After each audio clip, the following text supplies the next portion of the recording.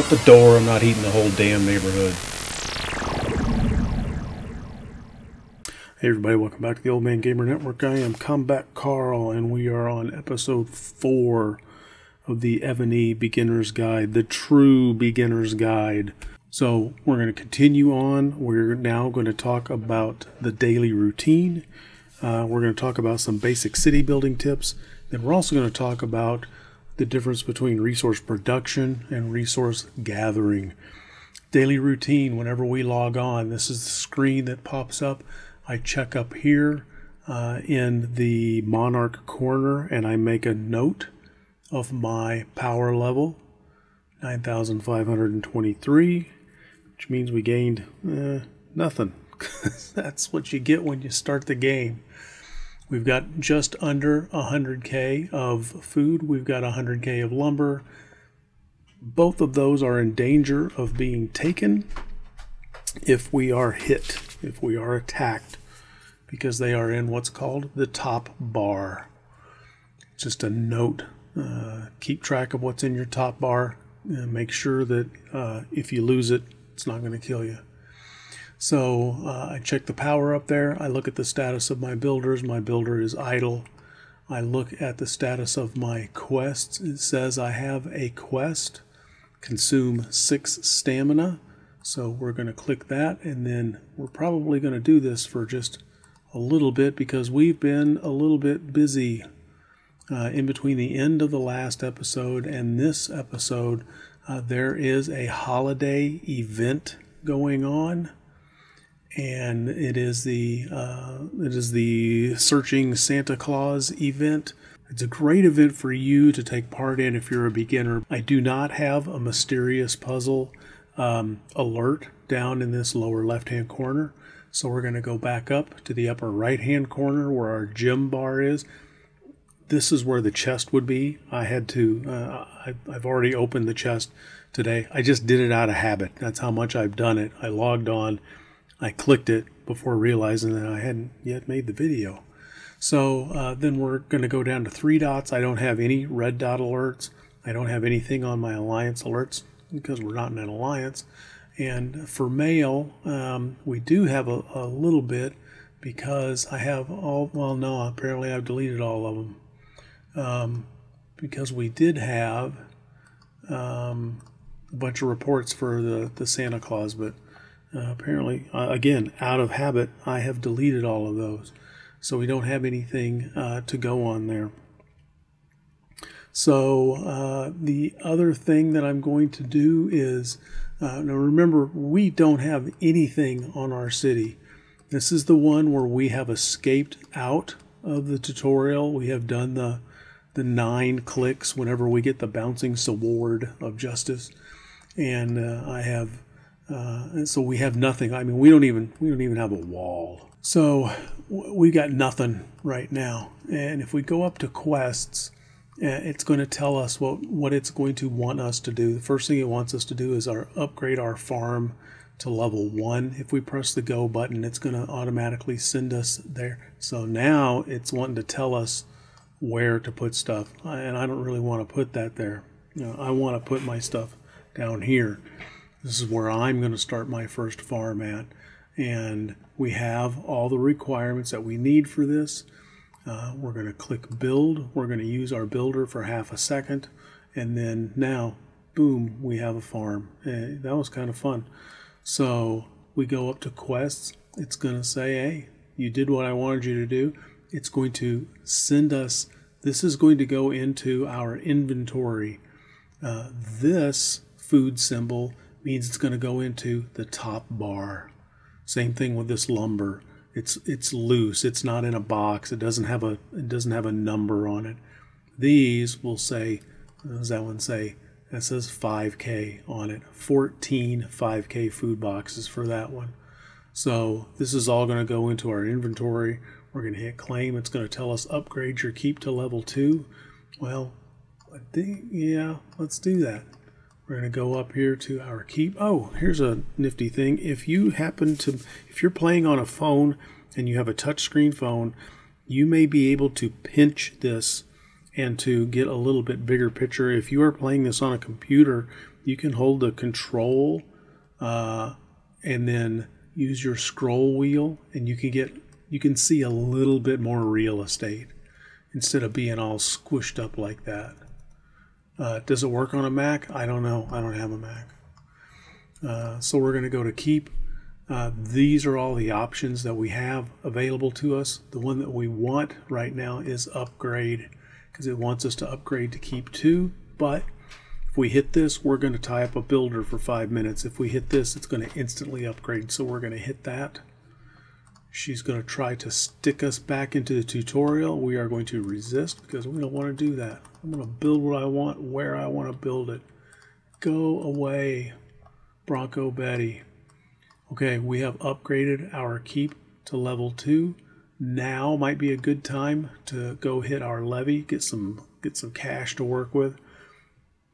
I have two levies, and that means two times I'm going to get whatever my gold revenue is right here. Right now, it's 20,500 plus 1,025. We get a bonus because of our culture. So we're going to hit free levy, and then we're going to hit free levy again. And that'll, again, that'll just automatically be built into your, your kind of daily routine. Our quests have gone off. Okay, I upgraded the keep. Now it's going to want us to upgrade our wall. We also levied gold once. Actually, no, we levied it twice. We're going to take those rewards. I try to keep my quest clean. I try to keep this bar as clean as I can. It wants us to upgrade the walls. Here's our wall. Oh, what's this? Server gift. Let's click on the server gift to see what it gives us. Oh, it's going to give us 50 gems. We certainly want that. It's going to give us 10k food backs. We hit the claim all. Tap, tap. Back, we're out of here. Let's upgrade our wall. It gives us an instant free upgrade option.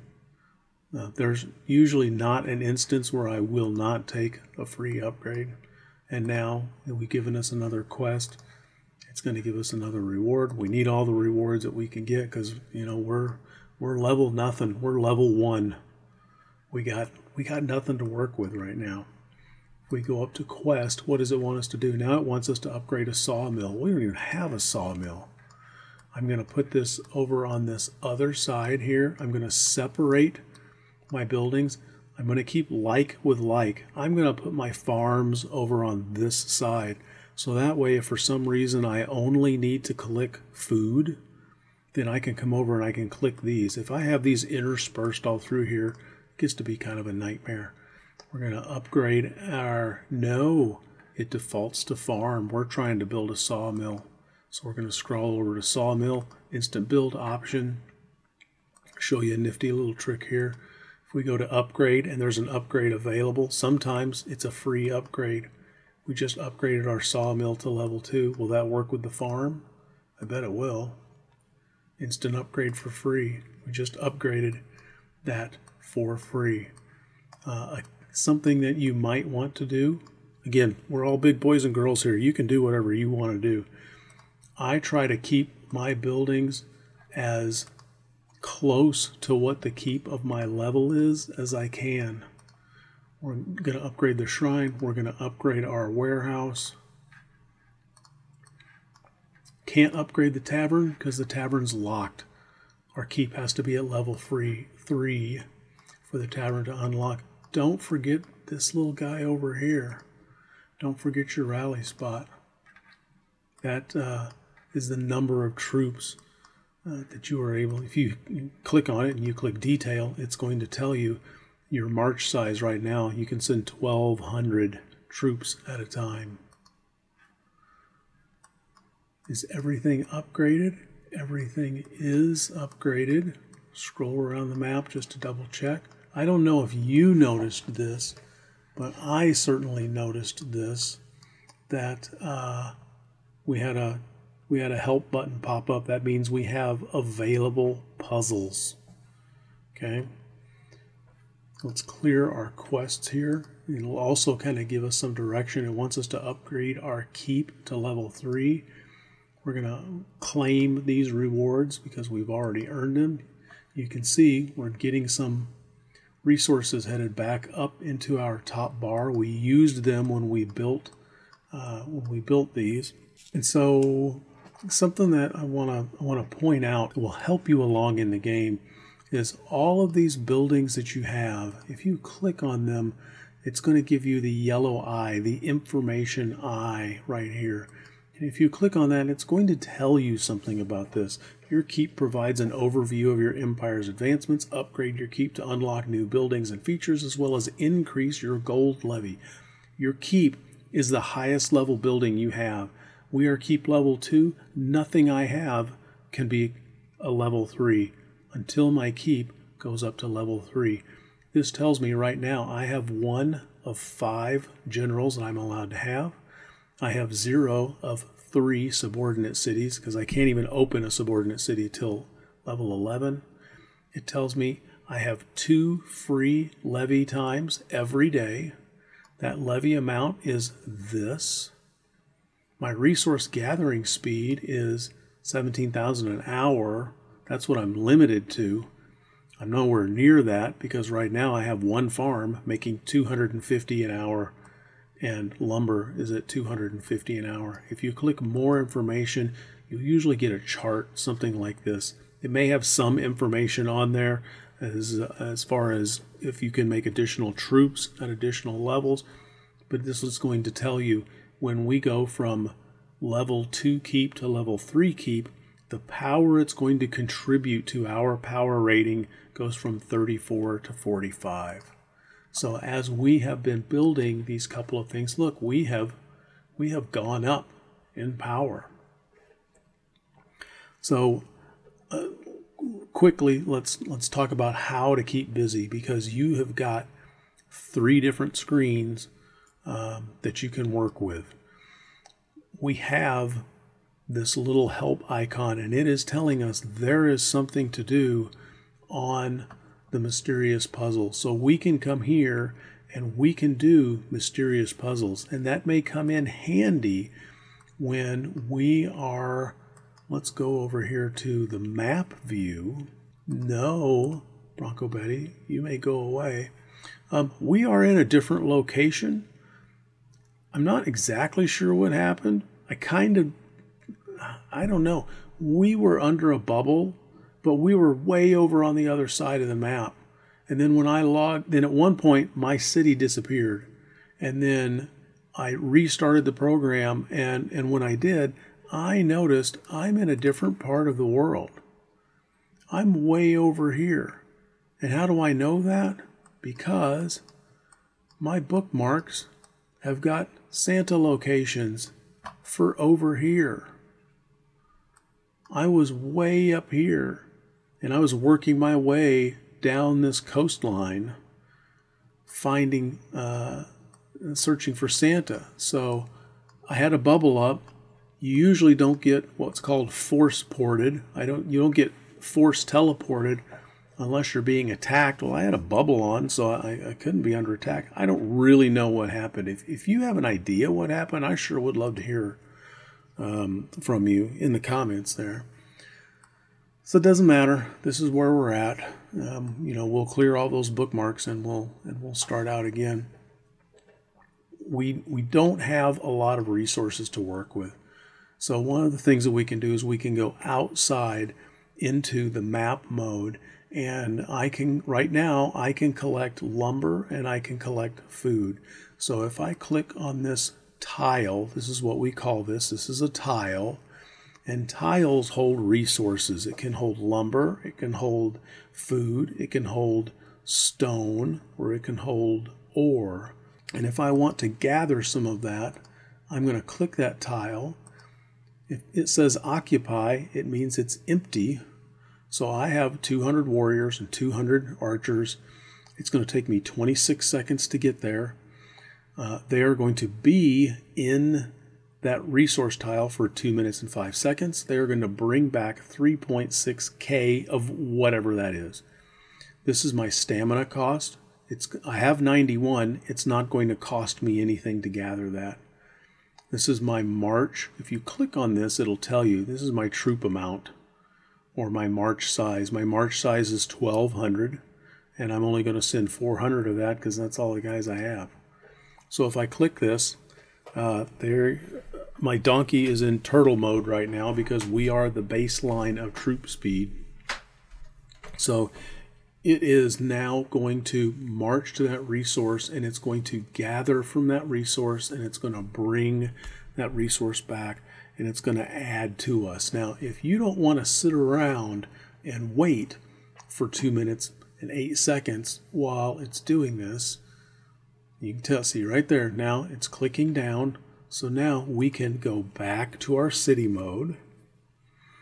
If we have something in city mode that we can do, oh, we logged in. So we're going to get to check in. We're going to get a going to get a 200 gem uh, bonus. You notice it didn't go up here because it went into our inventory, into our items. And there it is. Since the last time we logged in, or the last time we viewed this screen, everything with a new banner, this is what has been added to our inventory.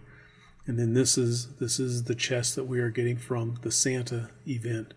If we want to put those up into our bar, we just click on them, hit use, and then it will take whatever is in there. In this case, we'll take both of these 50s and now we have 800 gems in our top bar.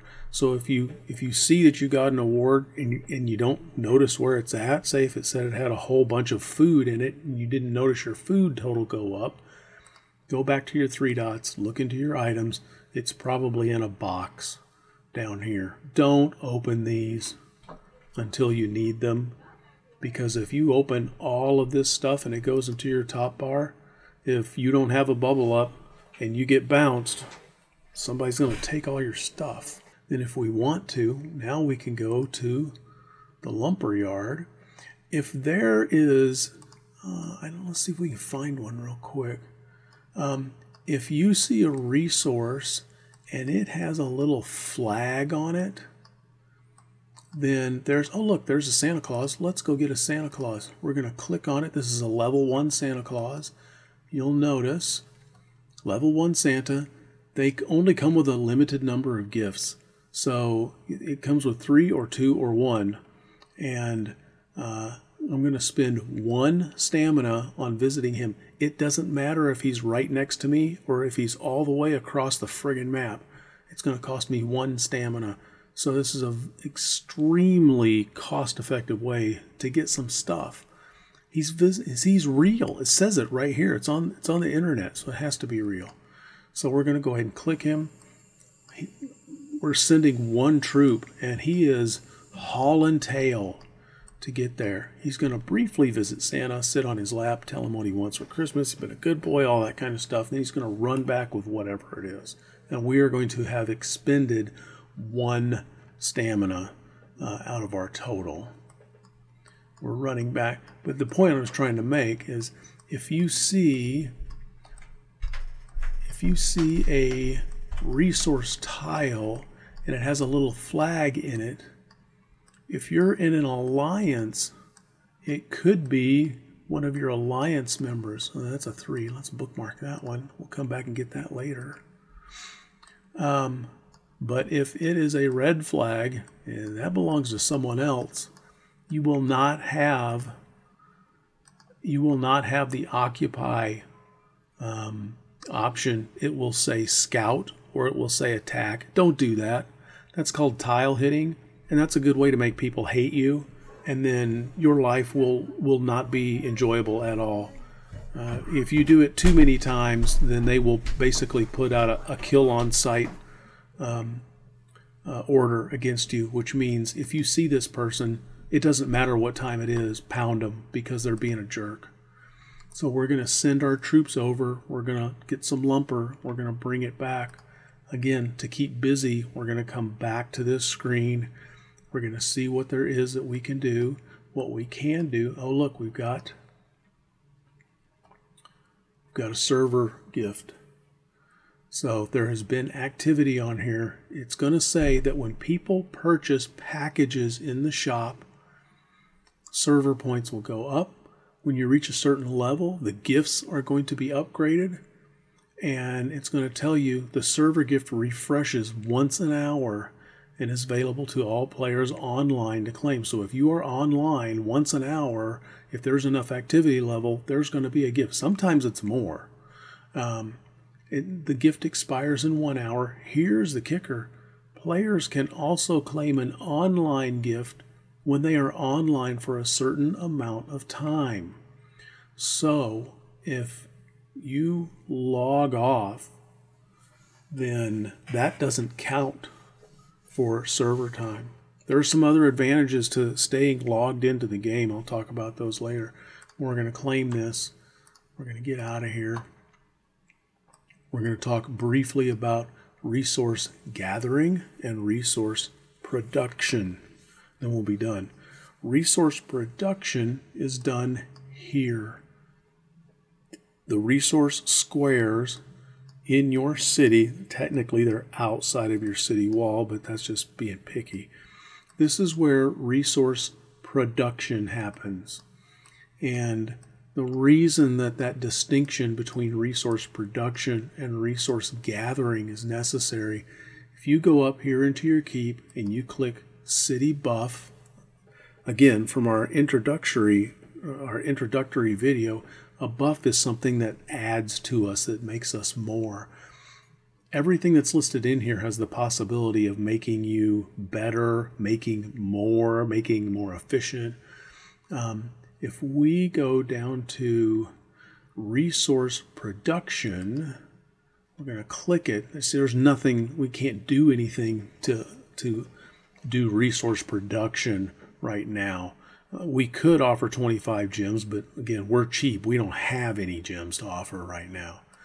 Resource production later on, as we start to gather things, we will get um, speed ups for production. And when they talk about production, they're talking about what's going on right here in front of the keep. So if we go up here to our warehouse, you see this big harvesting hand? If we click on that, it's going to take everything from the front resource production areas and it's going to load them up into our top bar. Now we only have one of each, so it didn't really go up a whole lot. But the other thing that you have to note about that is it will tell you that uh, you should be sure and gather that. Please claim your resources within 12 hours. My guess, I haven't tested this, we'll have to do this and uh, maybe we'll do this overnight tonight. My guess is that when it hits 12 hours, this is done. It won't produce any more. That would be my guess. So we'll do a test on that and we'll get we'll get back to that. The other resource term we want to talk about is resource gathering. And resource gathering happens out here you can see that we don't have a march bar out, so our troops have already gone out, gathered, and come back. They have gathered resources out here. You will get different speed ups that will also increase the rate or increase the amount of your gathering resource gathering. I see, yeah, you know, I'm pounding this, but it's important because if you don't know then uh, you're not, eh, you know, it's not good to just have a term fly by and you don't understand what it means because the more you know about this game, the more you'll be able to understand it and the better that you're going to do. This says produce and claim 100 resources in the city. Well, where do we produce resources? We produce those in our farms in front of the wall, in our mines in front of the wall. And then it says, and claim. There's two parts to this. First of all, you have to produce them, which are those little numbers above your resource tiles in front of the wall. And then you also have to use the hand to claim that. It's two parts to it. So we're going to go ahead and we're going to claim that reward. And then we're going to send troops out. What you know what we're going to do? I think we're going to bookmark a level 3 Santa. How far away is that? If you wiggle this a little bit, it'll tell you how far away it is. That's only 60k away. We're going to go ahead. We're going to we're going to snag that. So that is our daily routine, the beginnings of our daily routine, our basic city building tips, uh, keeping busy, and also resource production versus resource gathering. So, what I am going to do outside of watching this is I'm going to upgrade this keep to level 3 and then I'm going to upgrade everything in uh, inside that I can that is currently there. I'm going to upgrade that to level 3. I'm also going to add another farm. I'm going to upgrade the farms to level 3.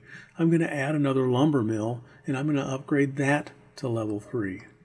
And that will set us up nicely for the next episode where we're going to talk about researching, we're going to talk about troop training, and if we have time, we're going to touch a little bit on basic general information. Anyways, I'm Combat Carl. This is the Old Man Gamer Network. Thanks for hanging out with me. And uh, hey, if you've got any helpful hints, make sure you put them in the comments uh, down beneath uh, the sermon notes because there's a lot of smart people out there and there's a lot of tricks. This game, this is not just a puzzle game that you play when you're going to the bathroom. There's a lot to this game. There's a lot to learn, and there's a lot of tricks, and I don't know them all. And I sure would like to hear a trick or two from you guys. Anyways, you guys have a great weekend. Cheers. Hey, thanks for hanging out with us today. Be sure and tap that thumbs up button if you think we've earned it, and be sure to hit the subscribe button and that little bell to be notified when new content comes out. Be sure to check out these other videos, and I'm Combat Carl for Old Man Gamer Network. You guys be sure to go straight home. No screwing around.